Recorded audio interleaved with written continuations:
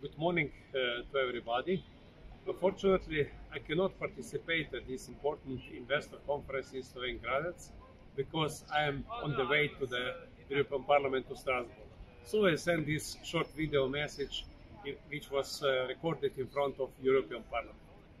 I'm very glad that the idea of smart village, uh, which I developed together with many people in the European Parliament, is so successful. I'm very glad that uh, we have very good cooperation with our colleagues from Netherlands because Lambert van Nistelrooij, my excellent colleague, my friend from Netherlands, helped us and he cooperated in this development of this idea.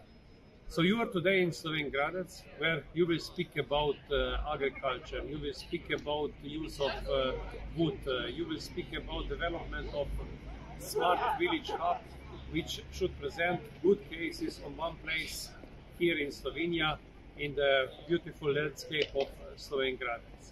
In European Parliament and European Commission, we speak now about long-term vision for rural areas to 2040.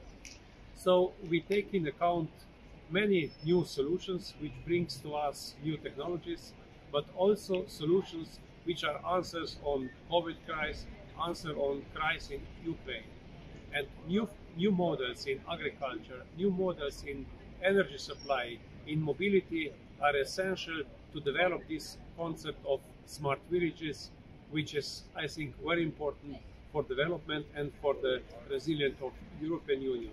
And what is more and more important, it's also important for cohesion of people inside European Union, inside uh, Slovenia, inside your region in Slovenia.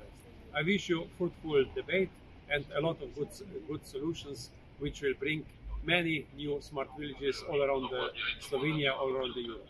Thank you very much.